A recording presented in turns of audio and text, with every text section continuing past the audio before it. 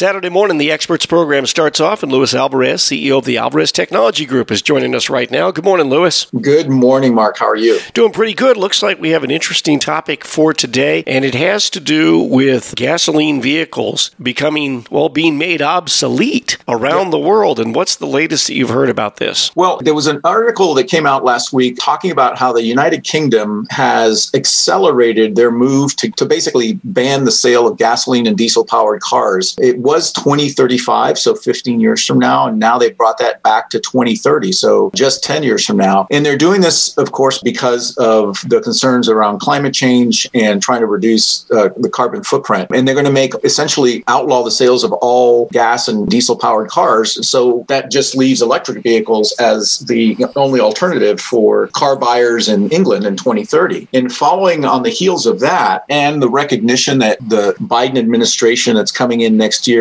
will probably be more climate focused than uh, the Trump administration, several car manufacturers, including uh, Tesla, Uber, and a few others, have formed a uh, conglomerate called Zeta. And the idea behind it is that they're going to advocate for the same thing to basically force the United States to ban the sale of diesel and gasoline powered cars by 2030. So it looks like the internal combustion engine's life is uh, maybe coming to a close. Mm-hmm. Well, I could also see that there would be pushback. I don't know that the big motor companies like Ford and Chrysler and GM and so forth are ready to abandon, believe that they can do so in less than 10 years' time. I think that they probably see that the California edict of 2035 is certainly going to push them. But boy, I'd have a hard time believing that they're going to really be able to accomplish this because, you know, the, the one of the features, and I think it's actually a, a pretty good feature of our system of government, is that it is very slow and plodding. But the reason that it's slow and plodding, that we can't make these types of rapid changes, is because that there's a recognition that compromise is really the best way to go that really takes into consideration the rights of all parties involved. And so the American system of government is pretty much designed to avoid allowing the passion of the day to rule instantly. It's designed to make people take a step back, take a deep breath, and say, okay, what are we trying to accomplish here? And what's the best way to do it? And how can we do it in such a way that doesn't damage all stakeholders? You know, that ends up being a win win for everybody involved. Now, I know a lot of the advocacy folks, the, you know, the folks that are uber advocates on the side of no more gas engines by 2030 or 2035, they don't necessarily like that. But then you also tend to find that a lot of times the most ardent advocates of any position, they take a, a rather cavalier attitude that they don't really care what anybody else thinks. You know, that's not a way for a representative democracy to work. Yeah, I agree with you. And I, I think the timeline, especially in the United States, that is, you know, so much bigger than England and has, doesn't have the public transportation infrastructure that the United Kingdom has. I think 2030 is too aggressive a target. 2035 is, is an aggressive target, but a lot of car companies have basically settled on, on that date and are retooling and re-engineering to hit that target. So asking them to suddenly compress that by five years is probably not doable. Mm-hmm. And and I don't think the manufacturing capability is there yet as well. I mean, I think there everybody's getting into the, the electric vehicle manufacturing business. You know, uh, Ford's coming out with a, a new pickup truck that's an EV uh, that supposedly has the same power and the same capabilities, lower range, obviously, than the typical gas or diesel powered truck. But um, I think to your point, it's going to be one of those things that is going to generate good conversation and uh, hopefully the outcome will be one that is acceptable and, and not damaging to one side or another. One of the other interesting things that I saw yesterday is there is now a move afoot in the California legislature to replace the state imposed gas tax of 50 cents a gallon at the pump with a mileage tax. And what they're looking at is the fact that all of these people with hybrids and EVs, quote unquote, aren't paying their fair share of the gas tax because that's what goes to maintain the roads. And as they said, every vehicle, no matter what type of engine it has in it, uses the roads and causes a, yep. an impact upon them. So now there's a move afoot in Sacramento to come up with a way to impose a mileage tax. And I just wonder if it's going to be, you know, because we have a one sided legislature in California, will it end up being some sort of a gradual thing or will it take into consideration all of the people with cars that can't be retrofitted for a mileage tax and say, well, you know, we'll continue the tax at the pump for all the gas powered vehicles, but for all you folks with electric cars or hybrids, you're going to pay this per mile. I mean, I don't see why that would be a problem just to cleave it down the middle that way and instead of saying it's got to be either or. Yeah, and to your point, a lot of car insurance companies are looking at using the same methodology for pricing their insurance policies. Basically saying, you know, if you drive more than the guy across the street, then you should pay more than the guy across the street, as opposed to both of you paying the same premium just because of the age and type of vehicle that you have. All right. Um, and all of this is because all the electronics built into